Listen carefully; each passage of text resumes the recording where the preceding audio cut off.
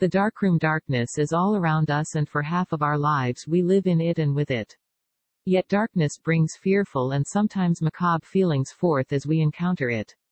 It permeates our hearts and souls in our emotional states. It is used to describe the future of things to come for those with less positive outlooks to life.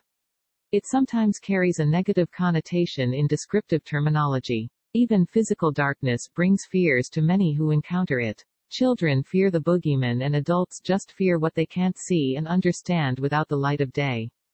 But darkness can be an important part of life. Nocturnal creatures rely on darkness to seek out their existence safely and humans rely on it to sleep and recharge for their future lives. For Roger, an average human being in our world, it was a means of fulfilling his hobby. A hobby that keeps him alive, well and productive in his golden years. Working in his darkroom developing photographs is the long-lost art that technology has destroyed but Roger refuses to forget about. The door into the darkroom gave the entrant a cold industrial feeling. Roger always imagined entering a bomb shelter whenever he opened this door leading into his darkroom.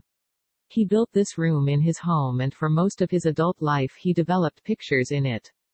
Being retired and all alone in his life, this room was his sanctuary. Since the death of his wife, and no other family nearby to visit, the dark room became his comfort zone. The lowly lit entrance was the portal into the colliginous work area where chemicals, utensils and supplies sat in abundance on shelves. A large table, with trays neatly placed on it, sat all alone in the middle of the room. Above the table was one dimly lit red light used as the beacon for sight lines while working. A portable display board, only steps away from the work table, was used for hanging the pictures as they dried after developing. Roger loved this room and used it every day as this was more than a hobby for him. Roger taught in the art department of the local community college for over 30 years. His qualification was photography and loved every day he spent in the classroom. Unfortunately, when technology changed the entire photographic industry, Roger and his skills became obsolete.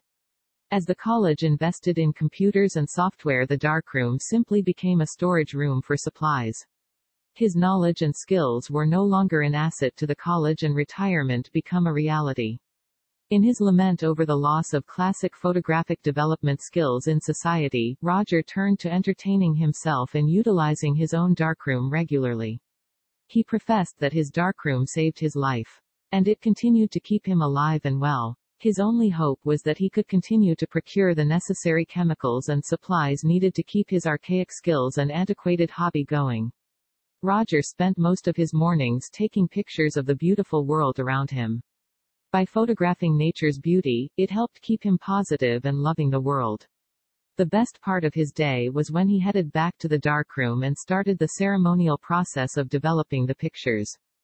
But Roger challenged himself by trying to match a new, modern picture with a historical picture from his past. Since he had a collection of photographic negatives and pictures, from the past 50 years, he had quite a collection to choose from. His goal was to match a new picture with a picture from his past and create a visual story through a collage. Most of the time the pictures showed a great contrast in life over the years, but occasionally they also showed not much had changed at all. One sunny bright summer day Roger took one particular picture for fun. He was quite a skeptic about young people today insisting they are soft and incapable of completing tasks without assistance. Basically, he believed young people were pampered and needed too much stroking to get by in life.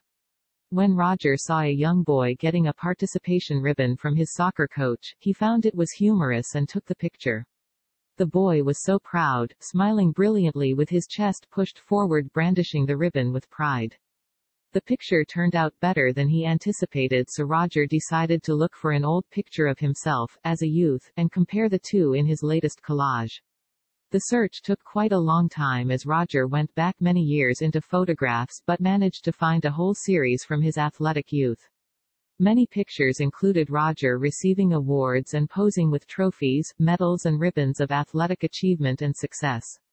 But as he searched back in some even earlier photos, when he was much younger, Roger found some contrasting images. He forgot about the earlier days in his athletics when he was just learning a sport or just playing for fun. He came across several photos of himself with friends and many with his parents at the soccer pie. Phòng tối bóng tối ở xung quanh chúng ta và trong một nửa cuộc đời chúng ta sống trong đó và cùng với nó. Tuy nhiên, bóng tối mang lại cảm giác sợ hãi và đôi khi rùng rợn khi chúng ta gặp phải nó. Nó thấm vào trái tim và tâm hồn của chúng ta trong các trạng thái cảm xúc của chúng ta.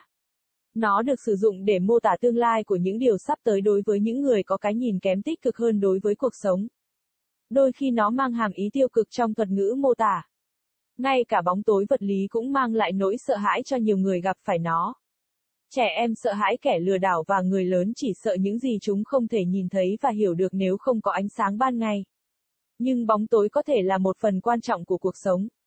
Các sinh vật sống về đêm dựa vào bóng tối để tìm kiếm sự tồn tại của chúng một cách an toàn và con người dựa vào đó để ngủ và nạp năng lượng cho cuộc sống tương lai của mình. Đối với Roger, một con người bình thường trong thế giới của chúng ta, đó là một phương tiện để thực hiện sở thích của anh ấy.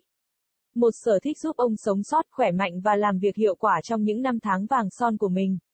Làm việc trong phòng tối của mình để phát triển các bức ảnh là nghệ thuật đã mất từ lâu mà công nghệ đã phá hủy nhưng Roger từ chối quên nó. Cánh cửa vào phòng tối mang lại cho người vào trong một cảm giác công nghiệp lạnh lẽo. Roger luôn tưởng tượng vào một hầm trú bom bất cứ khi nào anh mở cánh cửa này dẫn vào phòng tối của mình. Ông đã xây dựng căn phòng này trong nhà của mình và trong phần lớn cuộc đời trưởng thành của mình ông đã phát triển những bức tranh trong đó. Đã nghỉ hưu và cô đơn trong cuộc đời, căn phòng này là nơi tôn nghiêm của ông. Kể từ cái chết của vợ và không có gia đình nào khác gần đó để thăm viếng, căn phòng tối đã trở thành khu vực an toàn của anh ta. Lối vào ít ánh sáng là cổng dẫn vào khu vực làm việc tồi tàn, nơi hóa chất, đồ dùng và vật tư chất đầy trên các kệ. Một chiếc bàn lớn, có khay đặt ngay ngắn, ngồi một mình giữa phòng. Phía trên chiếc bàn là một ngọn đèn đỏ được chiếu sáng lờ mờ dùng làm đèn hiệu cho các đường ngắm khi làm việc. Một bảng trưng bày di động chỉ cách bàn làm việc vài bước chân, được sử dụng để treo các bức tranh khi chúng khô sau khi phát triển. Roger yêu thích căn phòng này và sử dụng nó hàng ngày vì đây không chỉ là một sở thích đối với anh. Roger đã giảng dạy trong khoa nghệ thuật của trường cao đẳng cộng đồng địa phương trong hơn 30 năm. Năng lực của anh ấy là nhiếp ảnh và yêu thích mỗi ngày anh ấy dành cho lớp học. Thật không may, khi công nghệ thay đổi toàn bộ ngành công nghiệp nhiếp ảnh, Roger và các kỹ năng của anh ấy đã trở nên lỗi thời. Khi trường đại học đầu tư vào máy tính và phần mềm, phòng tối đơn giản trở thành một phòng chứa đồ. Kiến thức và kỹ năng của anh ấy không còn là tài sản cho trường đại học và việc nghỉ hưu đã trở thành hiện thực. Trong sự than thở về việc mất đi các kỹ năng phát triển nhiếp ảnh cổ điển trong xã hội, Roger chuyển sang giải trí và sử dụng phòng tối của riêng mình thường xuyên. Anh ta tuyên bố rằng phòng tối đã cứu mạng anh ta và nó tiếp tục giúp anh ta sống khỏe mạnh. Hy vọng duy nhất của anh ấy là anh ấy có thể tiếp tục mua các hóa chất cần thiết và vật tư cần thiết để duy trì các kỹ năng cổ xưa và sở thích đồ cổ của mình. Roger dành hầu hết các buổi sáng để chụp ảnh thế giới tươi đẹp xung quanh mình. Bằng cách chụp ảnh vẻ đẹp của thiên nhiên, nó đã giúp anh ấy luôn lạc quan và yêu thế giới. Khoảng thời gian tuyệt vời nhất trong ngày của anh ấy là khi anh ấy quay trở lại phòng tối và bắt đầu quá trình phát triển các bức tranh theo nghi thức. Nhưng Roger đã thử thách bản thân bằng cách cố gắng ghép một bức tranh mới, hiện đại với một bức tranh lịch sử trong quá khứ của anh. Vì ông đã có một bộ siêu tập ảnh âm bản và tranh ảnh, nên từ 50 năm qua ông đã có một bộ siêu tập kha khá để lựa chọn. Mục tiêu của anh ấy là ghép một bức tranh mới với một bức ảnh trong quá khứ của anh ấy và tạo ra một câu chuyện trực quan thông qua ảnh ghép. Hầu hết thời gian các bức tranh cho thấy sự tương phản lớn về cuộc sống trong những năm qua nhưng đôi khi chúng cũng cho thấy không có nhiều thay đổi. Một ngày hè trói trang đầy nắng, Roger đã chụp một bức ảnh cụ thể để làm niềm vui. Ông khá hoài nghi về việc những người trẻ tuổi ngày nay khẳng định họ yếu mềm và không có khả năng hoàn thành nhiệm vụ nếu không có sự trợ giúp.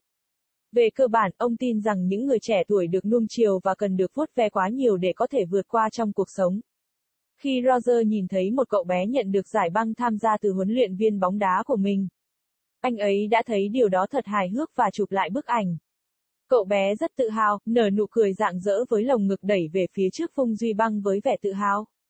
Bức ảnh đẹp hơn anh dự đoán nên Roger quyết định tìm một bức ảnh cũ của mình khi còn trẻ và so sánh hai bức ảnh trong bức ảnh ghép mới nhất của anh. Việc tìm kiếm diễn ra khá lâu vì Roger đã quay ngược lại nhiều năm với những bức ảnh nhưng đã tìm được toàn bộ loạt ảnh từ thời trẻ thể thao của mình. Nhiều bức ảnh bao gồm Roger nhận giải thưởng và tạo dáng với các danh hiệu, huy chương và giải băng về thành tích và thành công thể thao. Nhưng khi tìm lại một số bức ảnh thậm chí trước đó, khi còn trẻ hơn nhiều, Roger đã tìm thấy một số hình ảnh tương phản. Anh ấy đã quên mất những ngày đầu trong môn điển kinh của mình khi anh ấy chỉ học một môn thể thao hoặc chỉ chơi cho vui.